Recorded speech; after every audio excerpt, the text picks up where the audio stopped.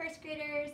My son Josh and I are going to teach you a math game that you can play at home for fun. And you will need your math journal. You will need um, some kind of candy like Reese's Pieces or M&M's or maybe Skittles. Skittles or cereal. You could use pieces of cereal if you want. And what you'll do is you'll open your math journal to the back cover where you, you see the um, number grid and you'll put the candy over all the numbers, not the negative numbers and not zero. And not the numbers after 100. Actually, if you, Well, you want to, you could. could go past 100. We, we're only going to go up to 100. And then what you do is you take turns rolling the dice, and then you take that number of pieces of candy or cereal, whatever you whatever you choose to use. So, do you want to go first, Josh? Sure. So I rolled 1 plus 4. That's 5. Okay. And then I should mention too that after you both, you and your um, the person you're playing against, after you clear all the candy off, then you count to see who has more candy to see who wins. And maybe like the winner, like how whoever like whoever has more gets to have the uh, more candy, more of the candy than each other. well, you can decide that when you play the game, right? Doesn't really matter. so I have seven. Five plus two is seven. So one, two, three, four, five, six, seven. Okay, your turn, Josh. I have seven too. Well, Okay. one, two, three, four, five, six, seven. Okay. All right. Come on, give me 12. Give me 12. Ah, all right. I got five. Five is not twelve. One, two, three, four, five. There we go. Your turn, Josh. Three. Okay. That is not twelve either. Oh, two. Snake eyes.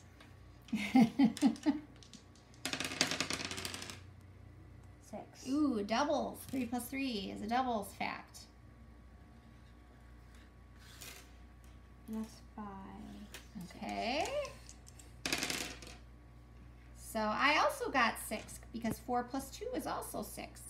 So one, two, three, four, five, six.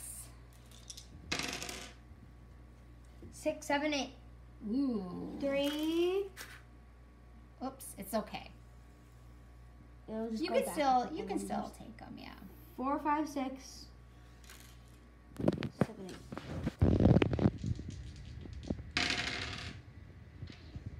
I got seven. One, two, three, four, five, six, seven. I get seven too as well. So that's four. Five, six, job.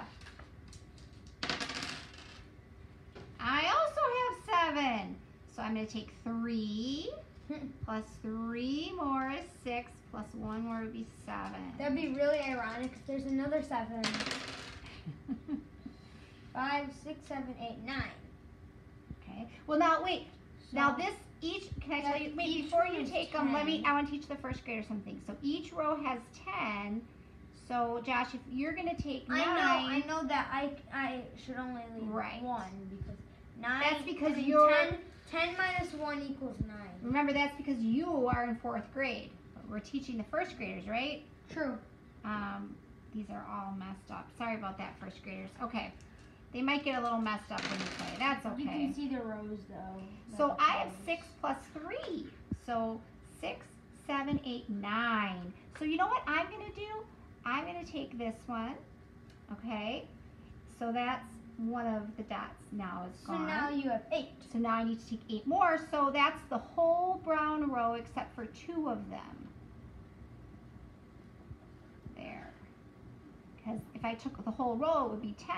If I roll, I only if want I eight. if I roll twelve, then that's all of them. But that does not happen. Yeah, oh, bummer.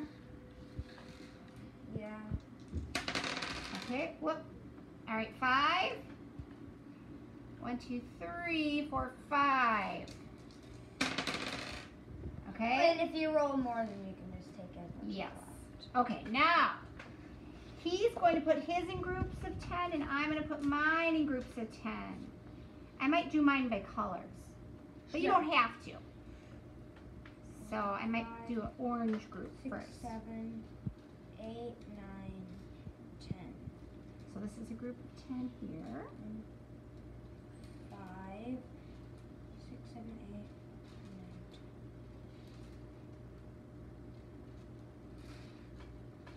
Five, five, five, five. What was there? Six, seven, eight. um, Okay. So, ten. Okay, we'll do yours first.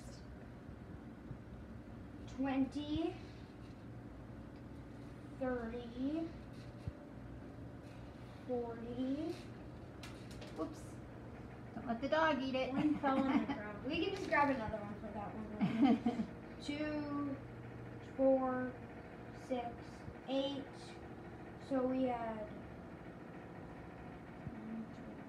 We had 40, 48, 49, 50, 51, 52. Okay. Ooh. Okay. So I have 10, 20, 30, 40. Those are all my groups of 10. 41, 42, 43, 44, 45, 46, 47, 48. 48. So I had 48. And then when you when you add them together, they should be equal to 100 You're you're doing 100. Or if you're doing a higher number than 100, it could be. Well, it would. It should be higher than 100. If well, you could go as high as all the numbers on Yeah, the you- number grid, what is right? it? Even. I think it goes up to 120. Yeah. Now, how many did you say you had again, Josh, including the one that fell on the floor?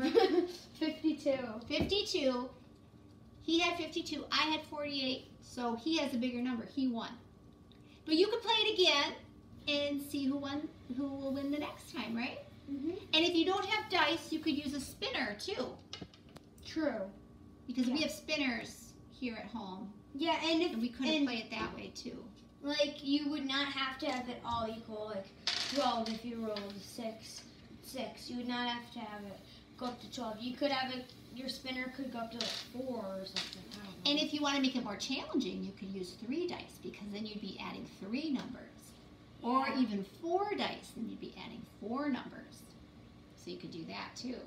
We should play that next. Well, what if, what if we, what if we did five? You might have a chance at, what is it, 60, I think? No, no, six would be 70. You, if, if it Well, was now he's talking multiplication. So Yeah. you guys will get to that when you get older too. So have fun playing the game. I'll see you later, first graders. You want to say bye? Bye.